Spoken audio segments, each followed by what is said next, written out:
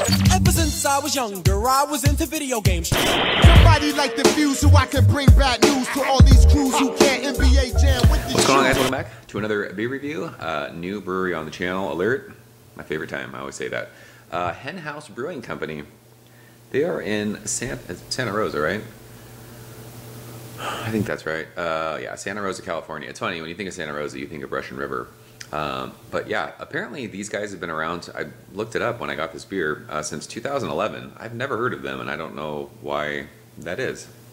Um, and I'm wondering how many of you guys have heard of Hen House. Uh, this is the Philadelphia experiment, and this can art is amazing. They're called Hen House. There's the hen. It's got great artwork. Albert Einstein's on there. There's the UFOs. I don't know if you guys know the story with the Philadelphia experiment. Google it. It's good stuff. Uh, this is a, I think it's a six percent. Is that right? Dun dun dun dun dun.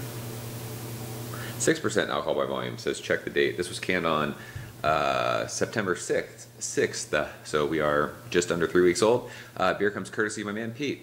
I appreciate you, sir. He sent me an email and said, "Hey, I don't know if you ever heard of Hen House, but I want to send you some beer."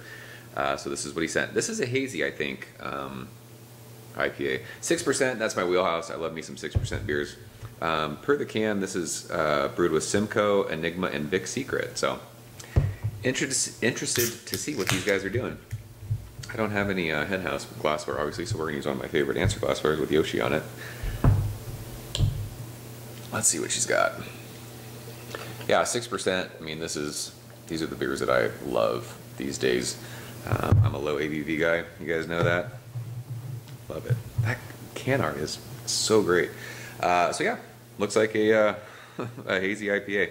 Solid two fingers. Uh, this head is crazy. It's so fluffy. You could take a spoon and scoop that out. Um, and it's just like the lacing is just sticking to the glass. Looks awesome. Looks like a New England style beer. I mean, everyone's brewing them these days, so. Uh, 6%, let's go ahead and shove our nose in it, see what she smells like. Ooh, this has a cool uh, combination of like tropical fruitiness, and there's an like a nice amount of like green earthy dankness in there. Um, I don't.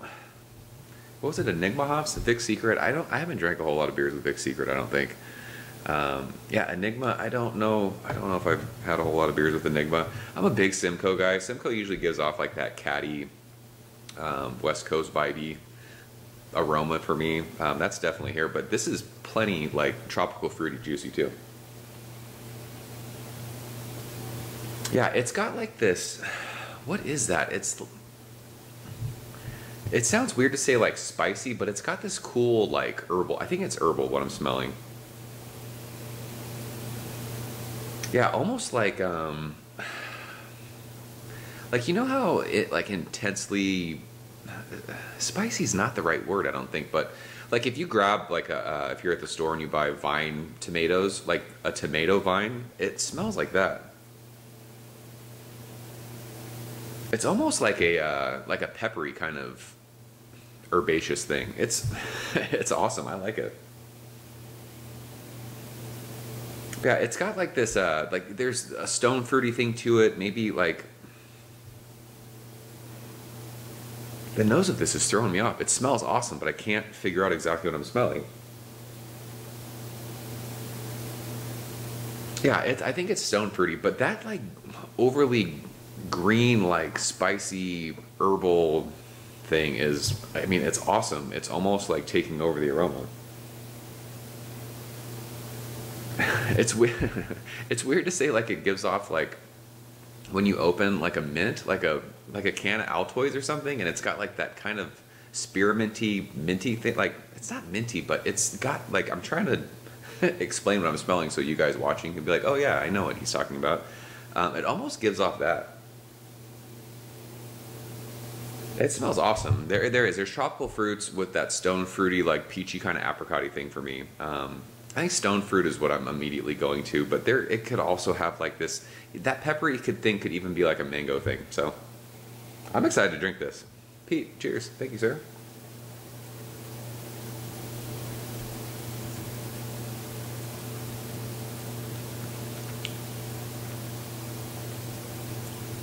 Ooh, that's that's really good.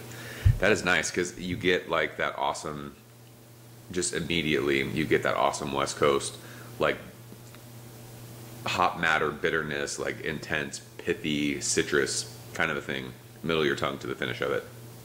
Um, it does. It sticks with that kind of herbally green, maybe piney is what it is, like smelling pine needles.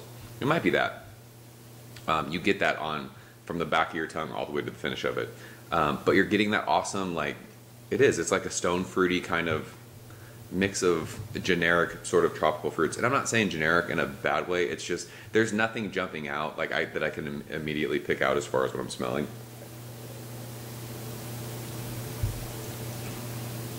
This is really good though, especially for six percent. It's plenty flavorful. Um, the mouth feels nice. It's not you're not chewing on it, but it's a six percent beer, so you're not expecting to do that. Um, it just like it's got a good amount of carbonation. It's just kind of velvety from front to back. I do. This really sticks. I mean, they're Northern California. It's a West Coast beer. This for me, it's one of those hazy beers that has like that West Coast vibe to it. Um, I like that earthy, piney, um, like that green hop matter that you get that kind of balances out that tropical like fruit, stone fruit thing. This is not one of those beers that you're like, oh, this is a total juice bomb. It's not that. I think they kind of stick to the whole West Coast roots thing um, when it comes to this beer. I don't know, like I said, I don't know anything about these guys. I don't know what other kind of beers that they brew. I don't know if this is like a one-off kind of a hazy thing that they're doing, um, and they are brewing like West Coast style beers. I don't know. This is an awesome first impression from these guys, though. It's really, really good. I am. I'm just. I'm a fan of six percent beers. I like lower alcohol beers. Um, I just think that it's one of those things. This is a beer that you could open every day when you're having dinner. Um, you have one, you're good. It's delicious. You're not going to get hammered drinking it. Um, it's awesome. This is a really good first impression from these guys. I do. I just like how even as I'm talking, that pithy citrus peel, that earthy kind of piney. It is. There's a good amount of just that what people call greenness to it. It is. It's uh, this is for me is like a West Coast at heart beer, even though it's hazy and even though it, it hits on those tropical fruit, like fruity notes of a beer, it's still kind of like that West Coast vibe. So, um, as far as a six percent beer goes, this is awesome. Um, this is for me. I would put this in like the world class thing, like that 96, 97 range. This is really, really good. So I'm stoked I got to have a beer from these guys. Pete, I appreciate you. Thank you for sending this. I'm, I'm kind of uh, excited to talk to you guys who have had and how I don't know like how far their reach are their reach is. I don't know like their distribution. I'm not sure. I I've not heard of these guys until I got this beer. So yeah, that's the Philadelphia exper- experiment from Henhouse Brewing. This can is amazing. So uh, if you guys have had anything from them, leave a comment below. Let me know what you think. Like I said, I'm looking forward to talking to you guys about this beer. So or this brewery, whatever you guys want to talk about. Tell me. I want all the information. So yeah, I'm out of here, guys. As always, thank you so much for watching. I'll see you very soon. Cheers. Ever since I was younger, I was into video games. Somebody like the fuse so I can bring bad news to all these crews who can't NBA jam with the shoe.